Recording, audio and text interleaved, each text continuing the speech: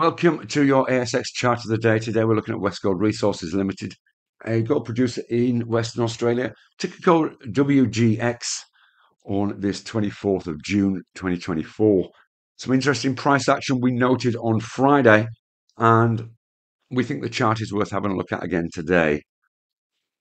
You can see here we pushed hard up against this sort of 250 level. We had a brief foray above it in March, and it was also resistance as you can see, early March, back end of February.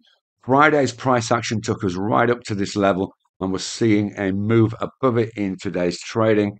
Up at 256, we think this is possibly heading towards that 275 level in the medium term, which of course depends on the price of the underlying metal, but up to 275 would represent around about a 7% move higher from where we are today. Trade safe and see you again soon. Bye bye for now.